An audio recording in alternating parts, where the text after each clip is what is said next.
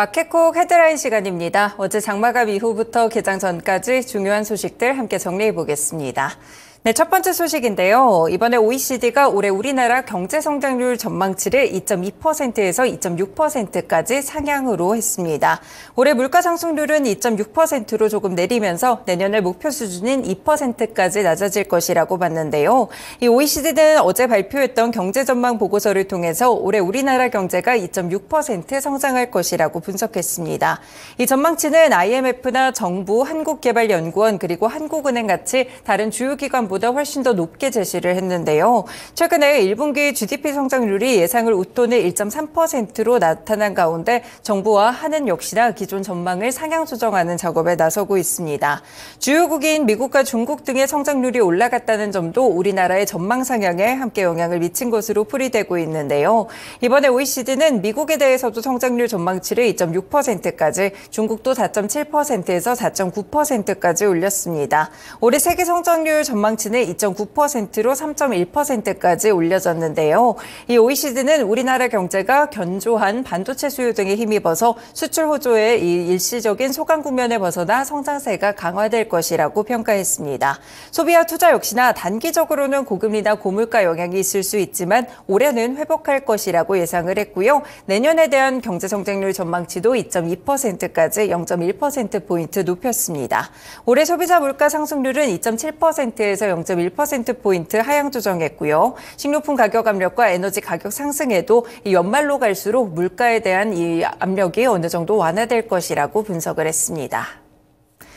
네, 두 번째로는 기업 소식 함께 보겠습니다. 지금 HBM 수요가 계속해서 늘어나고 있는데 HBM 시장에 대한 주도권을 잡기 위해서 메모리 반도체 업계의 경쟁 열기가 뜨거운데요. 지금 HBM 시장을 선점하고 있는 곳은 바로 SK 하이닉스죠. 이 생산 능력 확장에 내선 가운데 삼성전자도 기술력과 물량을 내세워 주도권을 탈환하는 데 고삐를 쇠고 있습니다.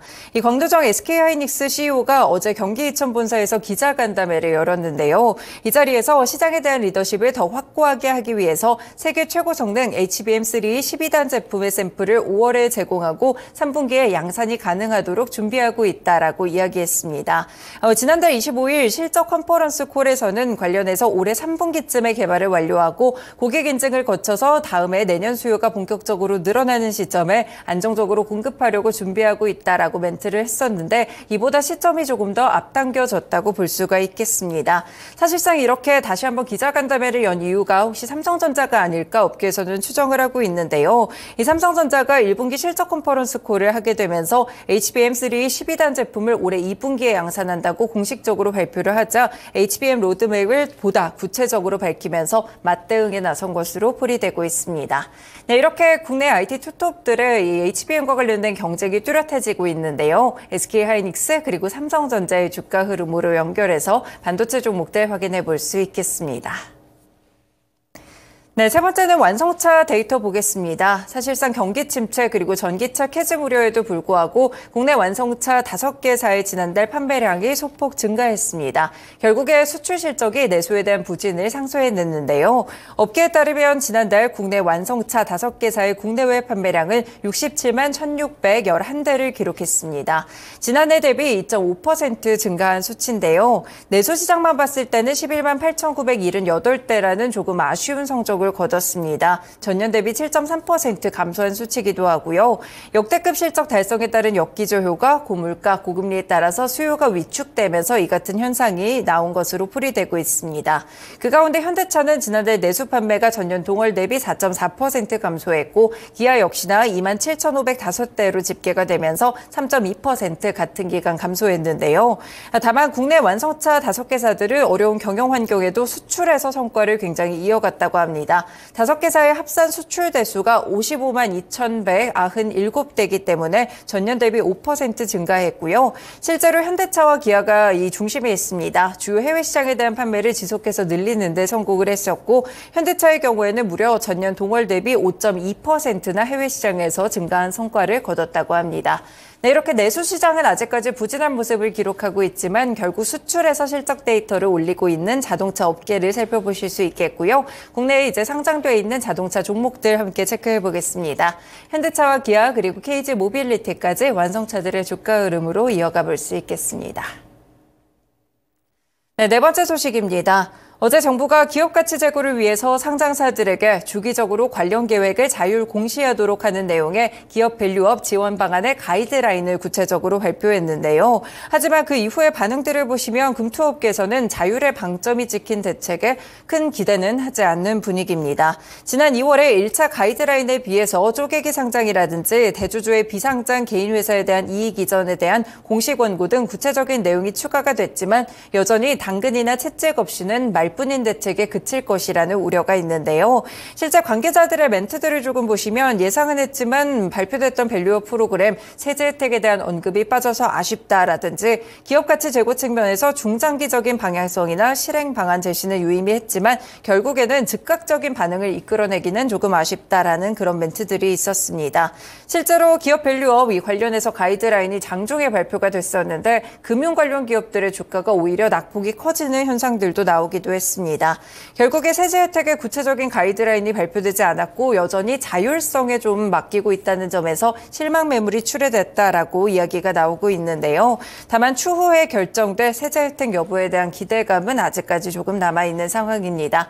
관련해서는 일단 대표적으로 금융주들 포함해서 저 PBR 관련 종목들 확인해 보실 수 있겠고요. 어제장에서는 가이드라인 실망 매물이 좀 출회가 됐다는 점 확인해 볼 수 있겠습니다. 네, 다음 소식입니다. 계속해서 실적 좀 기다리셨을 것 같은 에코프로 그룹주들 살펴보실 텐데요. 주요 계열사들의 실적이 일제히 전년 동기 대비 악화했습니다. 이 전방 전기차 수요 둔화에 대한 여파가 결국 양극재나 전구체 같이 소재단에도 영향을 미쳤는데요. 에코프로는 1분기 실적이 매출액은 1조 206억 원이었고 영업 손실은 298억 원으로 잠정 집계가 됐습니다. 전년 동기 대비 매출은 50% 이상 반토막 났고요. 적자 전환하는 영업 손실을 기록 기록하기도 했습니다. 그리고 에코프로비엠은 1분기 매출액 9,705억 원으로 마찬가지로 같은 기간 51% 이상 감소했고요. 영업이익은 67억 원을 기록하면서 93.8% 급감하는 모습이었습니다. 전구체를 생산하고 있는 에코프로 머티리얼즈 1분기 매출액 792억 원, 영업손실 130억 원으로 마찬가지로 좋지 않은 실적이었고요. 에코프로 H에는 일단 1분기에 매출액 515억 원, 영업이익은 73억 원을 기록했습니다. 네, 코프로 그룹주도 일제히 장마감 이후 실적 발표가 나왔는데 어제장은 좀 선반영하듯이 하락하는 움직임을 기록했었는데요. 오늘 정규장에서의 흐름은 어떨지 에코프로 그룹주들도 확인해 보시길 바라겠습니다. 네, 마지막 소식 보겠습니다. HC 한국조선해양이 최근에 중형가스 운반선 4척에 대한 건조 계약을 체결했다고 밝혔습니다. 수주 금액은 3,899억 원이고요. 가스 운반선은 HD 현대 미포에서 건조를 해서 2027년 11월까지 인도가 됩니다. 이 가스 운반선 4척은 탄소 배출량이 낮은 암모니아를 연료로 쓸 수 있는 이중 연료 엔진을 갖추고 LNG나 암모니아를 운반하게 돼 있고요. 암모니아는 선박용 저탄소 대체 연료 후보 가운데 하나로 꼽히고 있습니다. 있습니다.